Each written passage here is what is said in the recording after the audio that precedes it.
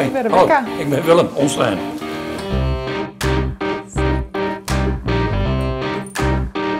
En ik ga u eh, een vraag stellen. Ik ben ook wel benieuwd wat vrijheid voor u betekent. Nou, toch eh, wel eh, vrij kunnen bewegen. En eigenlijk kunnen zeggen en doen en laten wat je wil. Ja. En daar ontbreekt het tegen de boren nog wel eens aan. Ja, En als je wat zegt, we we voelen we ons eigenlijk gelijk persoonlijk aangesproken. En is uw mening dan over vrijheid ook veranderd? In de... Ja, ook omdat de, de maatschappij tegenwoordig zo verhardt. Ik kom zelf dan uit de Achterhoek van oorsprong.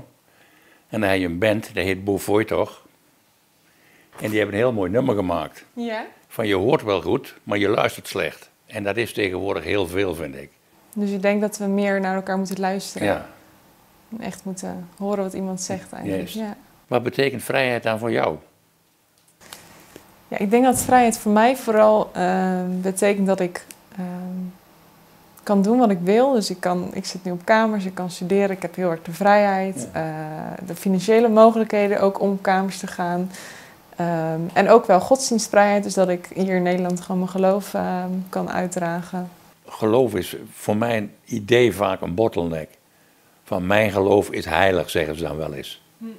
Ja, waardoor je ook vaak strijd hebt. Ja, Ja, en vandaar dat ik ook altijd zeg, laat elkaar nou alsjeblieft in de waarde. ja.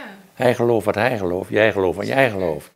Dat is ook, eh, als, zeg maar, als, ik Ja. geen, eh, als er geen godsdienstvrijheid is, kan ik mijn geloof niet beleiden. Nee. Maar dan kunnen anderen dat ook niet. Nee. Ik denk juist, ik ben dankbaar dat ik mijn geloof kan beleiden, maar daarmee ook anderen. Want ja, inderdaad, iedereen Ja, heeft zijn eigen eh, keuze daarin.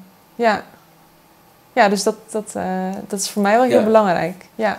Is uw eh, mening over vrijheid ook juist veranderd na het werk wat u hebt gedaan in Bosnië? Je werd daar in één keer geconfronteerd met zaken. Ik heb ik dus ook echt gezien, daar werd dus echt eh, met de pistool op het hoofd gekozen van of die kant op of die kant op. Ja, oké. Dat heb ik bij mensen gezien. En En als, welke kant bedoelde u dan? of moslim, of Kroaat, of, of Serf, eh, noem het maar even. Ja, omdat je in Sarajevo, dat was echt in het begin een Europese stad. En op een gegeven moment toen dus echt de shit begon daar, er werd dus echt ook van gemengde huwelijken, werd gewoon verwacht dat je partij koos. Wat is dan het, hetgeen wat u meeneemt uit uw tijden daar? Dan met name die tegenstellingen. Dat werd niet geaccepteerd en dat zie je tegenwoordig in Nederland ook weer met die polarisatie. Ja, en, en en dat begrijp ik eigenlijk niet. Als u alles zou kunnen veranderen in de wereld, wat zou u dan veranderen? Ja, ik bedoel, maar daar heeft iedereen de mond aan van open. Respect voor elkaar, maar dat is gewoon een lastige, denk ik. Ja, mijn, mijn, mijn woord is wet. Dat is niet zo. Het leven is grijs, zeg ik wel eens. als in, wat bedoelt u daarmee? Ja. Nou, het is niet ja of nee. Je hebt altijd een grijs gebied. Dus u zou dan het liefst willen veranderen dat mensen veel meer naar elkaar zullen luisteren. En Ja. Maar hoe zie jij dat dan? Als ik iets zou veranderen, zou dat zijn dat iedereen toegang heeft tot de wereld, tot gewoon de basisrechten. Ik heb vorig jaar een minor gevolgd over aanpak mensenhandel.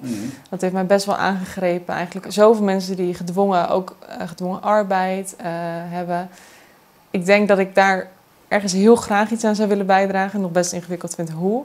Maar dat ook bijvoorbeeld wel begint met, ehm, nou, waar koop ik mijn kleding? Heel praktisch. Ehm, ik wil daar ook niet meer aan bijdragen dat er geen vrijheid is voor Nee. anderen. We zijn een beetje aan het eind, denk ik. Ja, bedankt voor het gesprek. Ja. Ik vind het mooi om zo, eh, om zo meer van u te horen. Hartstikke Ja. leuk met jou gesproken Nou, te hebben. bedankt. Dankjewel.